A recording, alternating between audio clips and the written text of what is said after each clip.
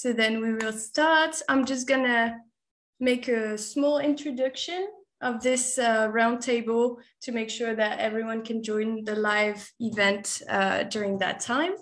So um, my name is Manon and I work for Karuna Shechen, um, the NGO founded by Matthieu Ricard. Um, so Karuna is an NGO that acts and advocates for a more altruistic world. So I'm introducing the NGO first because I'm not sure we're live yet on both of your Facebook pages. So I, I introduce Karuna first as it's the least important one, and then I'll introduce you guys. Um, so Karuna takes action mainly in India and Nepal um, in areas such as health, education, environment, food security, and economic development. And we also try to organize events to inspire and maybe encourage individual, action um, in topics such as um, nature and animal preservation. And so that's what this live is all about. And uh, so this event is actually co-organized with the Jane Goodall Institute France. So thank you so much also to uh, the teams of the Jane Goodall Institute who were so helpful uh, organizing this event. And so today we have the opportunity to have a conversation with both of you, Jane Goodall and Matthieu Ricard. So thank you, thank you so much for taking this time. Um, Jane, you are a pioneer in the research on animal-humans relationships since you spent several decades observing chips in uh, chimps behavior in Tanzania. Uh, and in uh, 1977, you founded the Jane Goodall Institute to support animal preservation and their habitats. And in 2002, you were named a United Nations Messenger, Messenger of Peace for your environmental and humanitarian work. And so you recently published a new book, so the Book of Hope that I have here, Le Livre de l'Espoir in French, and that's actually the main topic of today's exchange. Matthieu, you're a French Buddhist monk, a writer, a photographer, a scientist, and a humanitarian. Uh, in the 1970s, you left your scientific career at, Institut, at Institut Pasteur to live in the Himalayas and learn and practice Tibetan Buddhism. Uh, you're the French interpreter for the Dalai Lama, as well as a renowned author and speaker on the topic of altruism.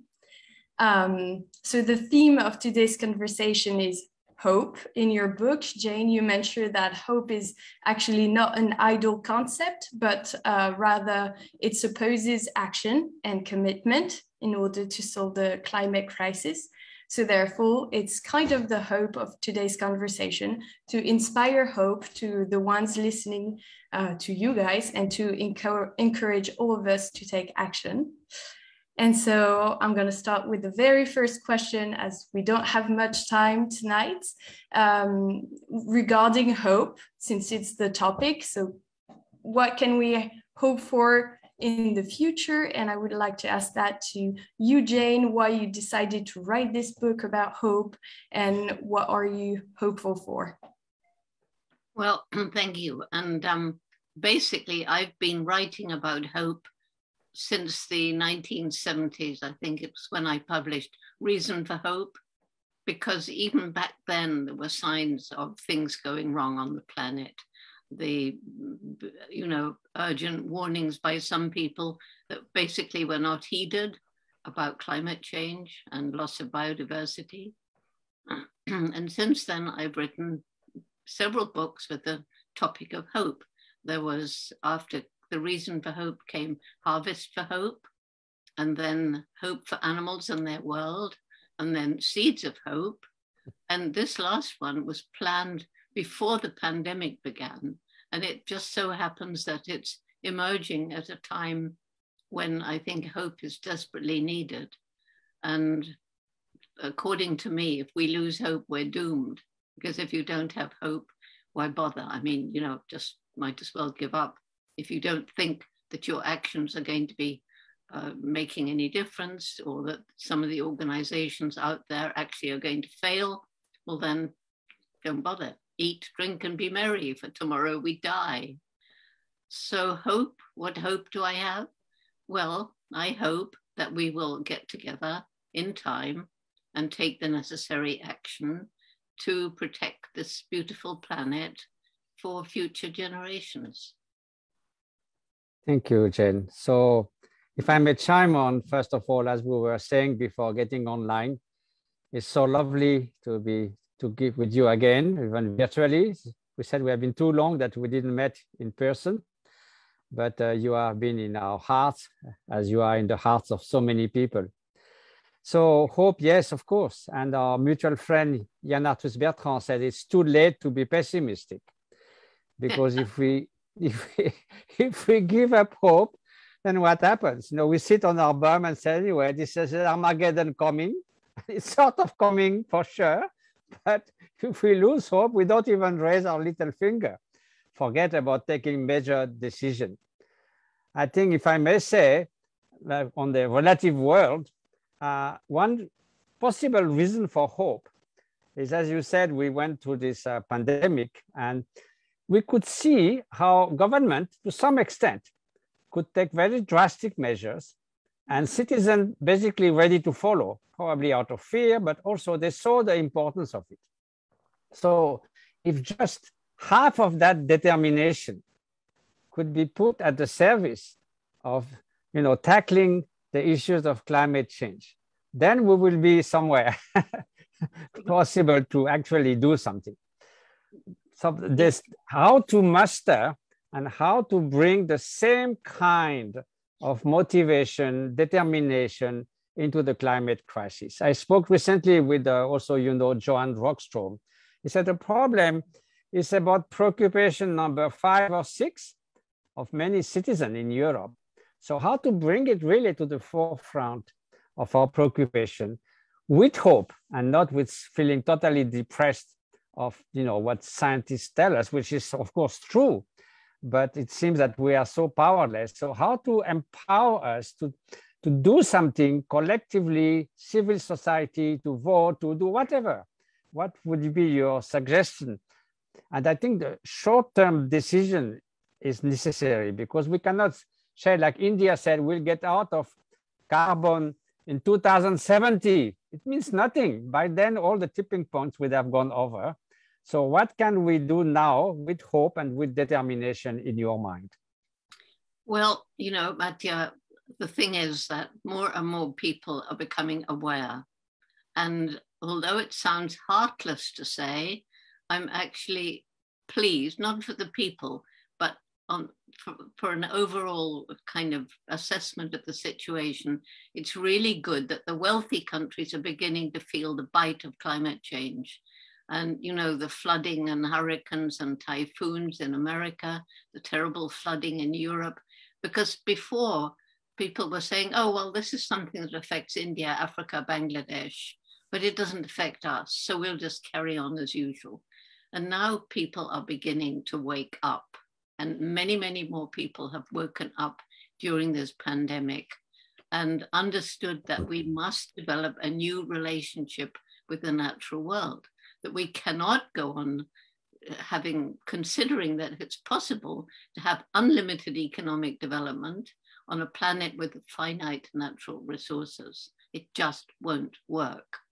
And to think that the annual development of GDP is more important than the future of our children is crazy. And we also need a new and much more sustainable um, economic system and we need, I don't know what you think, Matthew, but I think we need a new definition of success so that. Exactly.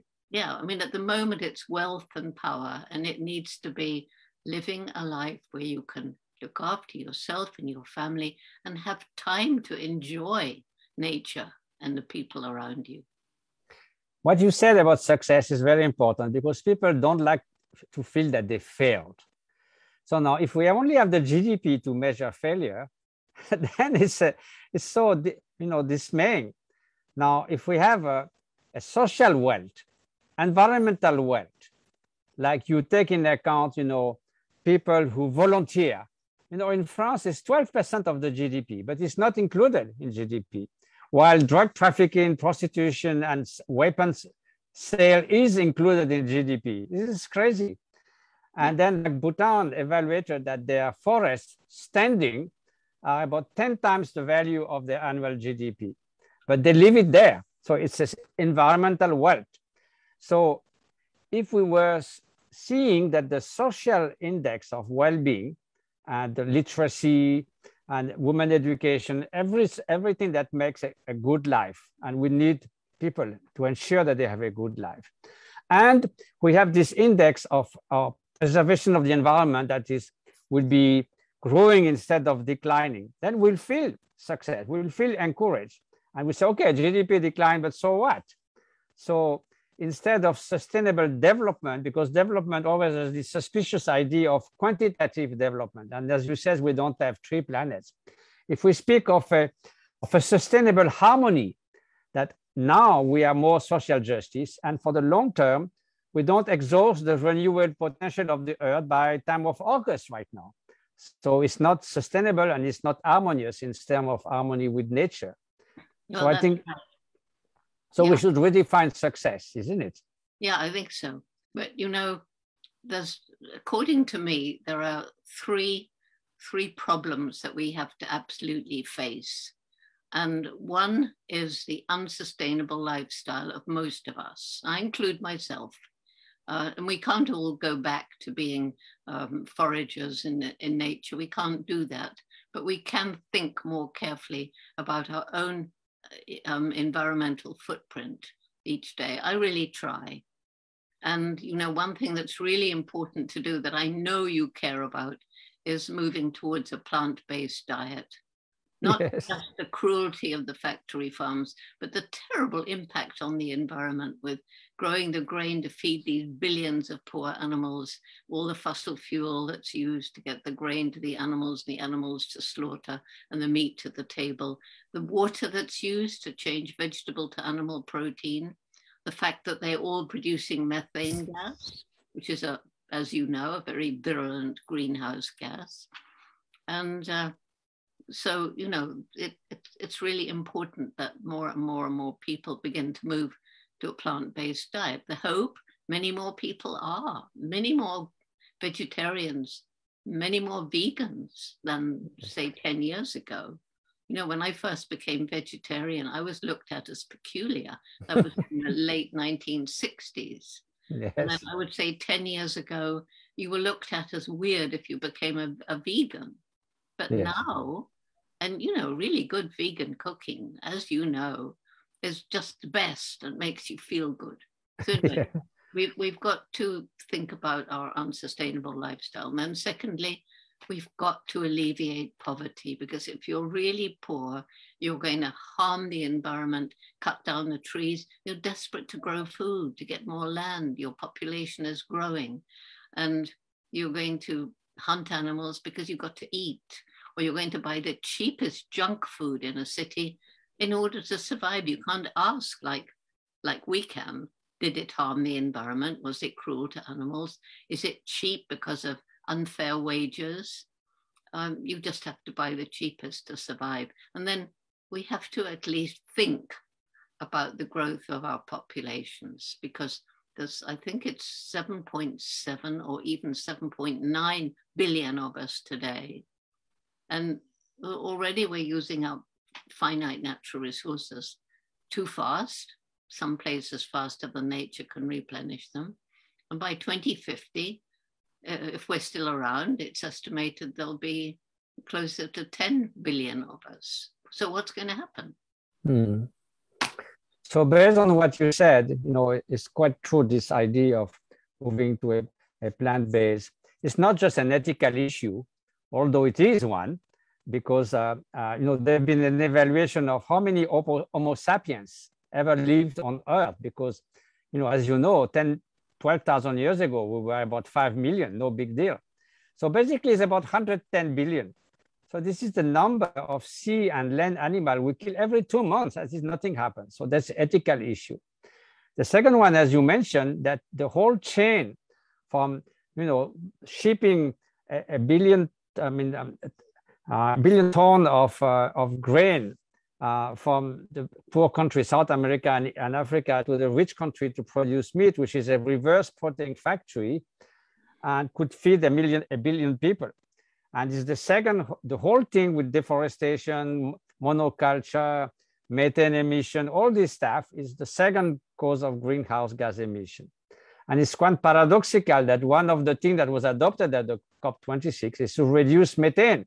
At the same time, European Union said we should promote consumption of meat. so what's, how can that happen? Meat is the principal, I mean, you cannot do anything about permafrost, but you could certainly reduce meat consumption. And as you said, the injustice because an average American citizen emit two 200 times more CO2 than a Zambian. And at Qatari, 2,000 more times than an Afghani. So unless we balance all that, it's no way. So we, we must have the more social environmental justice. And you cannot blame a mother in Africa that needs to feed her kids. It's the overconsumption of the rich country, the crisis of luxury mm. that causes all that. Yeah, and added to that, which I know is something else very dear to your heart, we have to remember that every one of those billions of animals in factory farms is a sentient being with a personality capable of feeling fear, terror, pain. You know, Matthieu, way back in the very late 1960s, when I stopped eating meat, although I was still on to eggs and, and um, milk, but stopped eating meat. Why? Because I read about factory farms in the book by Peter Singer. Yes. Uh, called Animal Liberation. I didn't know about factory yes. farms. I was in Gombe. I mean, when I left UK, there weren't any in the UK. So the next time I looked at a piece of meat on my plate, I thought, this is symbolic of fear, pain, death. Yes. Well, if you think of it like that, do you want that inside you? Fear, pain, death? No, thank you. And then, you know, more recently, learning about the horror for the um, for the dairy cattle and the chickens. You know, then you feel no, no, I don't. It's it's difficult to be a pure vegan if you're traveling the world, but at least you can do your best. Yes, yes. Those factories are like hell for for chicken and everything. I mean, this is unbelievable that we came to such extreme.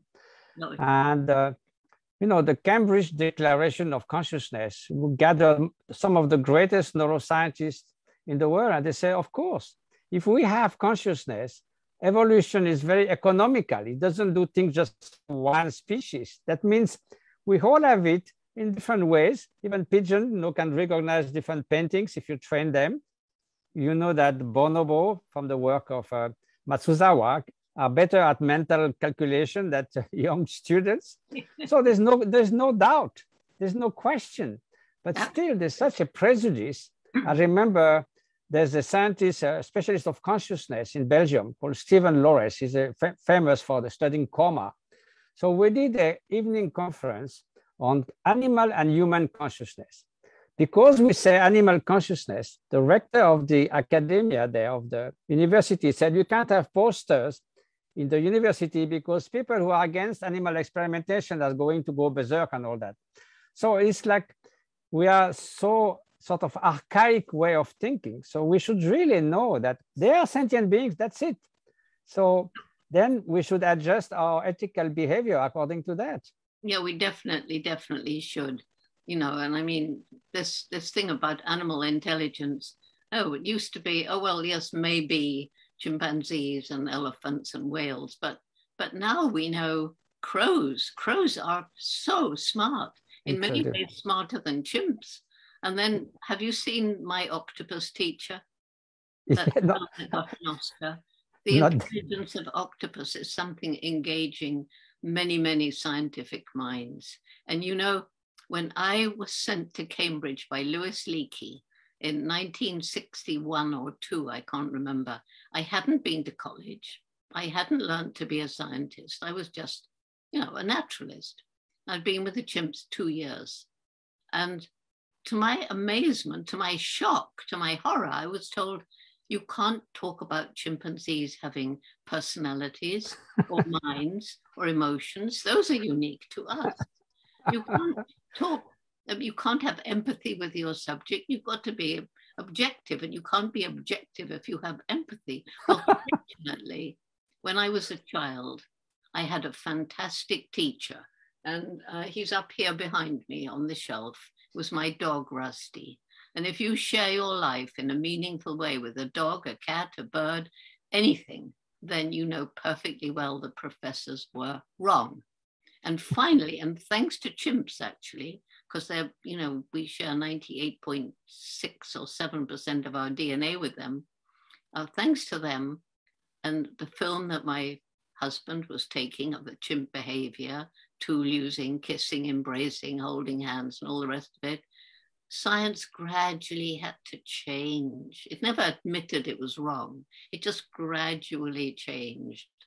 And today, as I say, we're now studying animal sentience, emotions, and especially intelligence. So there has been big change and all of these things. But to pick up what you were saying about the scientific research, the research in the in the um, pharmaceutical and medical research, there are companies now, and I know one, and they say it's the best, and it's called um, Vivodyne. And it's got uh, on, on a little computer chip this big, it can create models of human tissue, cells, organs, and it conducts thousands of tests in five minutes. And this is human tissue. And that's much better for, for us, medical, and it's cheaper than all these poor animals who are suffering. And they're suffering monkeys by the thousand now because of this pandemic. Yes, it's terrible. You know, you, oh, sorry. Just one thing. Everyone knows that, you know, you were the first one to discover that chimpanzee can make tools, and that was a revolution in the field. But you know as well, also you spoke of crows, that Caledonian crows, I mean, humans can make tools about 30,000 years ago, right? Something like that. I mean, that this is what people think. But Caledonian crows are making hooks. Yes. Not only they use it, but they actually fashion them. Yeah. Uh, and they used to go under the bark and take some insect and they keep it at night in their nest and then they use it again the next day. So if crows can use tools, then you know we are quite far in the use of intelligence. many animals. And you know, um, actually, people say, oh, Jane was the first to discover chimps use tools. Well, if you'd gone into the dark forests of Africa, the pygmy people would have said, oh, we know about chimps. yes, of course. They demonstrate it. You know, it's just that we in the West are so flippant arrogant. Yeah, what we call discoveries, and we Western people find something, but people knew forever. yeah, it's new then, but and you know we haven't listened to the wisdom of the indigenous people. We're beginning to now, but um, yes, we're beginning you, to now. You might know Sabrina Krief, who works in I think Uganda. She has found that chimpanzee can recognize 250 different plants. Some are edible, some are medicinal, and even uh, bush people observe them to find out about some medicinal plants. It's quite amazing. Yep, it is. I know. shared knowledge between animals and people about medicinal, the uses of medicinal plants. I, yes. but you know, talking about hope, um, hope, hope. It, I, I find it's amazing that places we have absolutely destroyed give nature a chance and nature will reclaim. And we may need to give nature, sorry, a helping hand if, if it's been too destroyed. But you must have seen places where nature's taking over from cement and, and all the nasty things we do to her. Animals oh, for, on the brink yeah. of extinction, given another chance. When since most of the commercial whaling stop, fortunately, whales are coming back. And I've heard a very uh, troubling example of Chernobyl. You know, all around Chernobyl, the huge area has been declared a no man's land. They said there's a huge, incredible uh, revival of all wildlife in that. Of course, they may not be in very good health, who knows, but that shows that if you somehow leave those alone, uh, they manage. So this brings me to ask you a, uh, your opinion.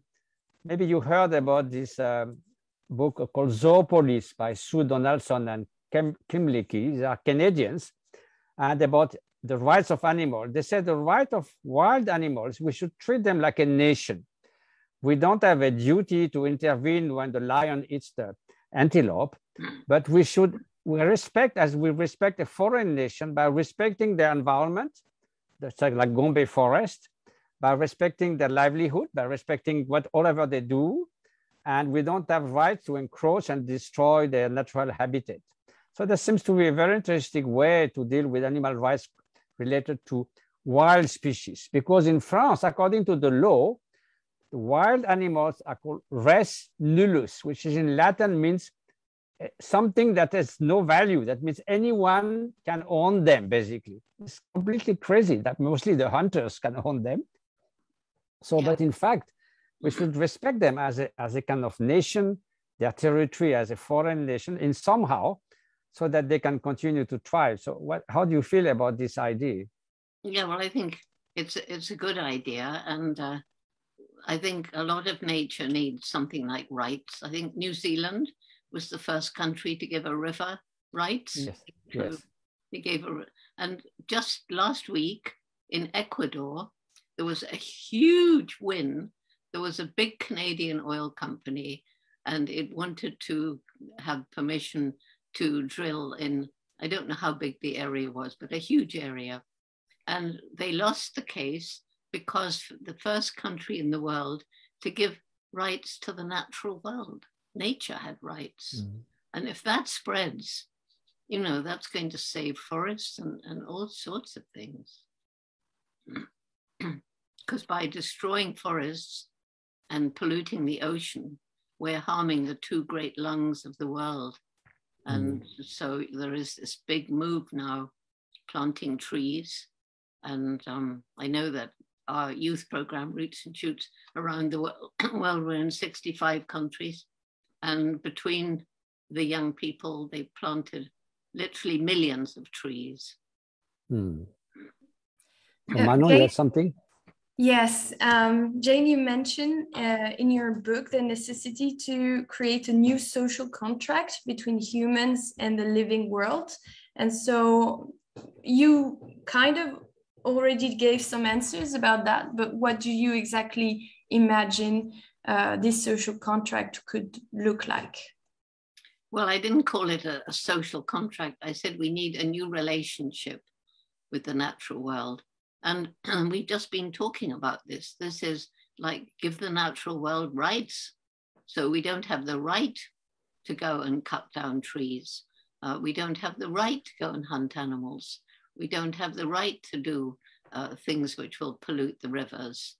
But the problem is that whereas every sane, rational person understands this, while you have government leaders moving towards the far right, moving towards uh, situations where they get absolute control, then it's going to take a huge amount of citizen speaking out. And in some countries, if they do that, they're going to be put in prison or killed. So we, we that's that's what we're up against. If we mm-hmm. were a world of rational people, then these rights would have been given to nature long ago. Jen, what is your reading of the COP26? Because, uh, you know, there have been plus and minus, and uh, even the one who was the head of it was in tears at the end. So, how do you feel about that? my feeling is if big IF, if all the commitments and all the promises and all the pledges that were made were followed through, it would have been a huge success. Hmm. But I sit on the fence. Will they be? I mean, we've had all these COPs going back to the Paris Accord, and mostly all the pledges that have been made have not been kept. Yes. So, you know, the proof of the pudding is in the eating. so, you see, Winston Churchill, for once, said something quite wise. He says, he says statesmen think of future generation, political men, people thinks about next election. So the problem is the measures that would really make a difference would be quite unpopular in a way. Yeah. Uh, so no one wants to do that because they will lose their, you know, on the on the opinion polls. So we would need uh, someone who has the guts of saying, well, I don't care not being re-elected, I will do the right thing. Otherwise, they pass the baby to the next. And so that's why they say 2030, 2050. so passing the baton. So yeah. The future doesn't hurt, but it's going to hurt. Not yet. It's going to hurt very hard, but it's not right now. That's that's one of the issues. So yeah. someone was saying we should somehow bring politicians to take short-term decision because that within their sort of time. And also the way to motivate people, I, I heard of someone who was a, a, environmental scientist in Texas. Now that's the last place you want to be as an environmental scientist. So yeah. they, this, they say, you know, we don't believe in anything in climate change. They said, well, let's talk about the rivers. You know, the Colorado, all the rivers that are getting dry. So, oh yes, there's a big problem with the rivers. So then you bring them to do something for something that affects them, no matter what they think about climate change is a fluke. So I think short-term commitments and what people really experience, then we can sort of move things. Yeah, I, there's an awful lot of barriers to overcome. You know how I see it this hope business. Like we know the world's in a mess, and nobody can deny that. And you know, we're told think globally, act locally, but if you think globally, you're going to be depressed. There's no question. So when when people say, Jane, you can't really have hope, and I say, well, it depends how you define hope. Now I see our world right now as a we're in a we're in a dark tunnel, and right at the end of that tunnel is a little star of light. That's hope. Well, we don't just sit and say, oh, I, I hope that, that that light will come to us. No, we have to roll up our sleeves and we have to crawl under, climb over, work our way around all the obstacles between us and that light. So for me, hope is about action.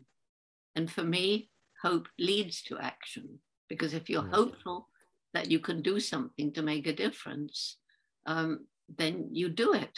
And you know, the yeah. lucky thing is when we do something and make a difference, it makes us feel good. Mm-hmm. And therefore, you want to do more because you want to feel better.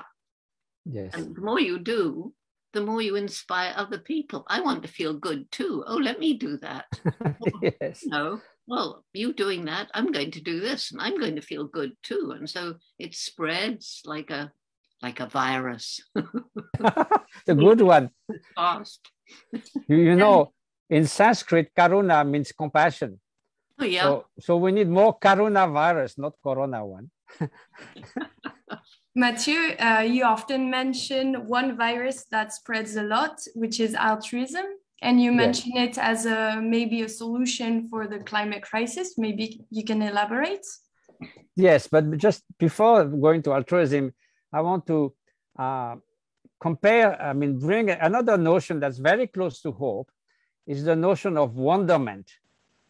You know, if you are in awe in the front of the beauty of the unspoiled world, the beauty of animals, the beauty of a chimp looking in your eyes, hugging you, what causes you wonderment, of course, bring respect. You are not going to destroy beautiful natural forest, destroy the habitat of beautiful living beings.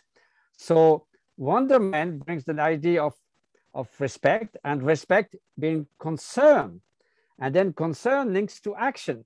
So yeah. in a way, it's a constructive, hope is constructive, give you a sense of elevation. Wonderment also, so it counteracts, you know, we know very well that so many environmental activists and scientists are very uh, prone to depression because they know what should be done. Nobody does it. So it's very depressing. So wonderment and hope are very good. Now, I may just say one thing about the wrong kind of hope, that easygoing hope is to say, okay, in 30 years, don't worry, they will find some te technological way. They will send some particles in the atmosphere that will cool down the climate. So no, no need to bother. So that's that's not a real hope. That's just a easy escape, isn't it? It's an escapism. Yes. so just to say a few words about altruism, you know, just like hope, it may feel goody-goody, you know, utopian, how you have can hope when the situation is so terrible. How can you be altruistic when everybody likes to be selfish? But if you look at the main challenges of our times, you know, we have the short-term challenges like a mother in Africa needed to feed her kids tomorrow. Then there's the midterm. Everyone wants to you know, flourish in life, like the roots and shoots. You empower people so that they can have a good life. And then there's a long term, which is the sake of many, many future generations and 8 million other species who are co-citizens in this world.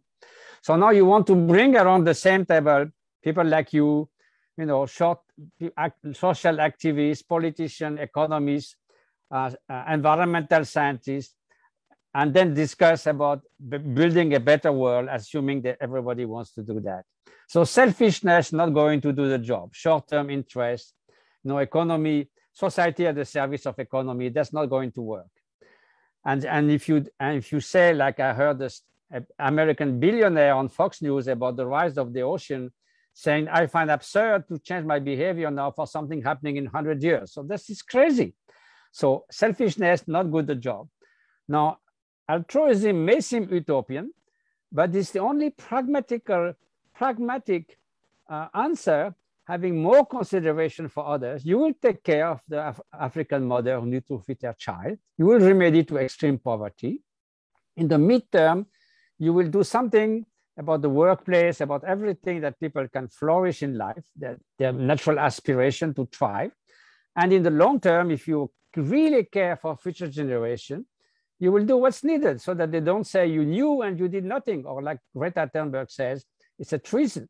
So altruism is actually the only the thread that can reconcile the needs for those three time scale and it's very pragmatic just like hope and wonderment they come they go together yeah they go together and um i mean you know the sad thing is we know what needs to be done we know that if we do what needs to be done we can slow down climate change, we can slow down the loss of biodiversity, but the will to do it is yeah. maybe building with people, but it's not building at the, well, actually, there's one, one more bit of good news, hopeful news, and that is some of the biggest corporations are beginning to, to change. And there was one lovely story. I was talking to the CEO of a a very big international corporation about three weeks ago. And he said, Jane, for the past eight years, I've been really working to get my company uh, to have more ethical, social, and environmental um, program, you know, along the supply chain, place where the product comes from. And he said there were three reasons. One, I saw the writing on the wall. I saw that if, if my company goes on using these finite natural resources at the rate that it is, then I'm finished. Secondly, consumer pressure. More and more people are beginning to demand products that are ethical. But then he said, What really got to me was my little girl about eight years ago. She came home from school. She was 10 years old, I think. And she said, Daddy, they're telling me that what you're doing is hurting the planet. Daddy, that isn't true, is it? Because it's my planet. And he said, That got to me. so this is why I have such hope in youth. Because yes. you know, young people, they're so pure to start with. And they they they don't understand this harm. And you know, you talked about wonder, which I think is incredibly important. And we must reconnect with the natural world. And we need schools to push for outdoor education, especially yes. with very young children, so that they get this sense of wonder. And, you know, the, the other day, uh, there was a little boy of about three, I think, and he was watching this snail And You know how snails just kind of go along uh, like that. And he was staring at this snail. And he was obviously wondering, well, how is it moving? And so he suddenly picked it up, put it on the window, ran inside, and looked at it from underneath. Well, I mean, that's that's he he was filled with wonder. And if you yes. then get curious and you then start to understand, then you learn to love. And what you love, as you say, you will protect. You know, if children don't even know the name of birds and trees, how could they feel to protect them? So you know about the concept of biophilia, that we have naturally an affinity for other species, for the natural world. There was a very troubling study in the Lancet. Children who grew almost exclusively in cities, they are 25% higher risk of having depression and schizophrenia. Yeah. This is amazing. And then children who are often nature classes, who are taken in the nature, they found that they have much higher creativity because they see, as you say for the snail, they see how nature does it. They see how nature is interdependent. They see how nature solves problems. So their whole sort of creativity unfold by seeing the extraordinary creativity and interdependence, interconnection of the natural world, which you don't find in the concrete environment. Well, it was in Japan where they first invented the term forest bathing. And when I first heard it, I thought, what do they do? Put on swimming costumes and go in the forest? But of course, now, even in Canada, doctors are prescribing for slightly neurotic people go and spend time in nature. They're prescribing it on a thing. Um, and, and a study that I loved was done in Chicago and they took two areas of high crime, both, you know, in a city. Yes. And one of those areas, they planted trees and plants and did, made it as green as they could. And the crime level dropped. Wow. And yes. And so, of course, they quickly did. And so, urban tree planting, I think, is really, really important, like urban farming. A lot of people yeah. now in cities are growing food up on their rooftops mm. and you know food in school gardens. And anyway I get back to children again and again and again because once they understand the problems and we empower them to take action and help them they're changing the world. Do you know roots and shoots is now in 65 countries? Oh that's wonderful. And we have members in kindergarten. We even have a few little preschoolers but kindergarten many and university many and everything in between and they're all choosing for themselves three projects one to help people, one to help animals, one to help the environment. And somehow, building out of that without us teaching them, we try to bring different cultures together, usually virtually. Mm. And they're learning to understand that much more important than the color of your skin, your culture, your language, your religion is the fact that we're all human beings. So, what comes out of this, and you've said it yourself just a little while ago, and it's to me the most important word respect. Respect for each other, respect for animals, respect for nature. Mm. And you know, the golden rule common to every single religion. Yeah, well, do to If we were just applying the golden rule, the world would be such a better place. yeah, but think what the world would be like if we all obeyed the golden rule. And you know, you spoke about Chicago. There was also another troubling study. When you ask kids uh, about where the meat come from, more than half said, well, from the supermarket. Yeah. Then before that, where? Well, the factory. Yeah. And then they didn't make the connection with the animal on four legs. No. So just to come back to the how hard it is to motivate people. Isn't it because emotion, evolution equipped us with emotion to react to immediate danger? If I say the house is getting in fire, we all rush. If we say the house is getting in fire in 30 years, say, okay, we'll see. So it is natural because uh, no, in the forest it's immediate danger. You don't think about danger in 30 years. So how to to of to to hope, to wonder, to all those factors, how to really motivate people for something that is 10, 20, 30 years. Because you know, the urgency of the climate is we have about 10 years to prevent the many, many tipping points to tip together from the Amazonian forest to the Arctic to the, if they tip together, then there will further tipping points. So there's really something we cannot go back. So how, how to motivate people enough when it's, it's starting to hit on their skin, but not quite enough to really become preoccupation number one. So how can we do that? What do you think? oh, I come back to children again because oh. children don't think in the future. Children think about now.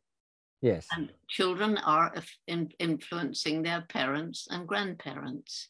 And in some cases, like the case I told you, they're making change. Yes. And all of these roots and shoots groups. I mean, I was just on a Zoom before this, and mm. there was one of our roots and shoots youth leaders, and she was saying, you know, what roots and shoots, how it had changed her, how it made her think more respectfully about the people around her, how she's working on discrimination, how she's developed compassion. So she's working with her group to get food parcels for Christmas for, for all the poor people in the area and raising money for food banks and things like that. So, and this is happening in 65 countries. Hmm. And you could help a lot, Mattia. You could help us grow. Yes, we're ready. In your world, because that's how we grow. We grow by collaboration. Yes. And you know, you said about that little boy and that CEO of that big company. I think well, that's one of the reasons why people like Greta have such an impact, because somehow it's so in the right. I mean, she's so in the truth that adults feel embarrassed. They start to feel ashamed there's no way we can continue like that. And they start to feel it that the, the critical mass is going to turn and the cultural change is going to happen and they're going to be left, you know, as uh, some kind of unethical people. Uh, and it's time to change. So this is something they're very profound and encouraging that's happening. Thank you both so much for this conversation. It, it is so inspiring, and we actually have lots of questions in the chat, but unfortunately, we won't have time to take them. Um, thank you, Jane, for the wonderful work that you're doing uh, with the Jane Goodall Institute. And so I actually invited Galitt. Uh, if you if we have a few minutes, Galitt is um, uh, the director of the Jane Goodall Institute France, and I wanted to know if she maybe wanted to talk a bit about uh, the institute's work. So Galitt, are you here? Um, yes, I'm with you, Manon. Uh, thank you so much once again, Jane and Matthieu, for this amazing conversation. Uh, listening to you both is very inspiring, and uh, and I know that from Karuna Shechen point of view and from Jane Goodall Institute, we're receiving tons of questions. Um, I just wanted to say to everyone that uh, in order to uh, that Jane blazed the trail for us. And uh, as a global community conservation organization uh, that advance her vision and work, uh, we would be really delighted to answer to any questions that you people have. So do not hesitate to contact us, either Karuna Shechen or herself in order to do so. And uh, the works that uh, Karuna is doing on the field is so impressive. And I think that on our little level also, the Jane Goodall Institute has a lot of impacts uh, and with the youth and also on the field with the association, with the wildlife protection, with the human collaboration. And um, it's a real pleasure to collaborate with your organization. Thank you again, Matthieu, and thank you again to all your wonderful team all the time. Jane, I have one wish. You had a wonderful, rich, extraordinary life, but please be with us for many more years. We need you. please be patient with this planet. Okay, same to you. Okay. okay, we'll, we'll be there. What's the magic elixir that's going to keep us both alive forever? I think wonder and hope is good. All right, wonder and hope. That's true. And respect, respect. And benevolence, and benevolence and respect. Okay, let's have those four and we will live very long. Yeah, well, they're very long. well, thank you. Thank I'm you nearly 90, Matthew. I'm nearly 90. That's not bad, is it? My mother's 98 and she's still going on, so don't worry. yes, it's very good. Not bad. Wonderful. Go Yeah. on. Go on. Anyway, lovely talking to you again. Let's stay in touch. Yes, please, by all means. Galitt. Yeah, It was wonderful to reconnect. absolutely super. Thank Have you. a good night, everyone. Thank you so much for joining the live, and I'll end it right now. Have a good night. Bye. Good night, everybody. Thank you. Thank you, Jane. So lovely.